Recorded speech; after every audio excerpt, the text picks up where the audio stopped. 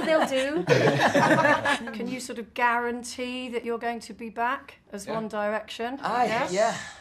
Yeah, I think, I think, to honest, I think there was a story in a paper or something like that that made